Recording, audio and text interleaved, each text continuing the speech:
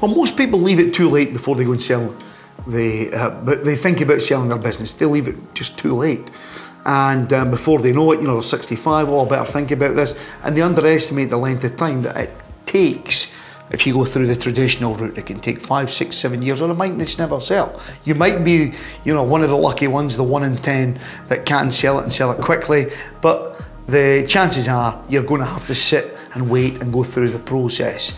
Now, the so a seller would, you know, tends to leave it too late. They underestimate the length of time it takes to sell it. They under, underestimate the effort involved in selling it. As a, as a buyer, our expectations on information normally from depends on the size of the business.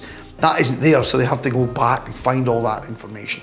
So that's one of the that's one of the issues. The other issues are they maybe uh, anticipated it was going to be a, a legacy business, a family legacy business the kids would take it. But look, you know, the, the reality is only 70, percent of businesses go from uh, the first generation to second generation fail.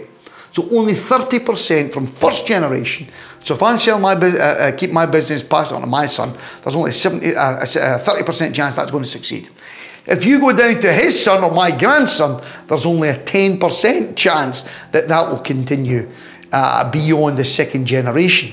So the legacy business or the generational businesses or wealth, are, the, the, the odds are so highly stacked against that, and that's statistics throughout the world.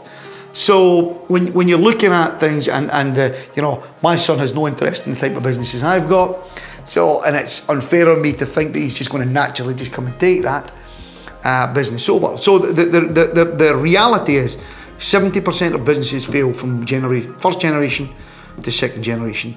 And uh, uh, you know, even if they do, the 30% that do do well and might even do a bit better than, than what we've done in terms of creating the businesses, our first generation have done in creating the businesses, then by the time it gets down to the, the, the, the third generation, then by that time these are if you like, spoilt wee brats that just uh, expect everything and have no interest at all in the old school stuff that uh, Grandad uh, or grandmother used to uh, used to sweat and bleed tears for.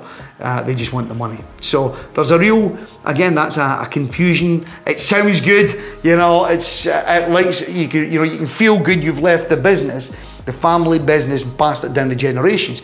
But really, that's not what you're looking to do here. You're looking at, running a business and starting a business is about creating wealth.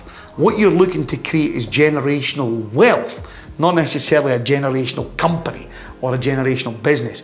If you understand money and how money works, you know, creating legacy or generational wealth, you know, selling a business should be part of that plan as an exit to, to if you like, cash in and get the wealth to invest in either other assets or other types of businesses or, or something up to date or current or um, something more, more, more in line with the, the next generation's aspirations as opposed to, um, you know, basically saddling them with something that you've created here that they feel obligated or uh, that, uh, uh, but really have no, no real heart or desire to, uh, certainly not the desire that you had when you were starting the business. So it's a real um, confusion out there I've seen with a lot of sellers who come up with a, you know, oh, it's for the kids, it's for the family, and Look, the reality is that's an absolute nonsense.